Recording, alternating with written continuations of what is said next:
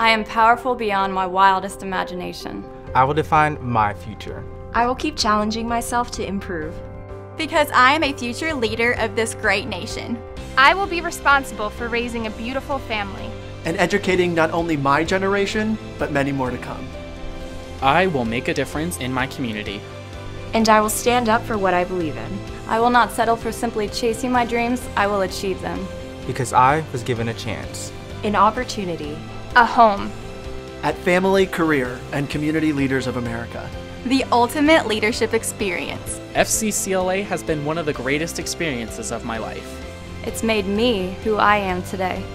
Join us. We'll build a new future together.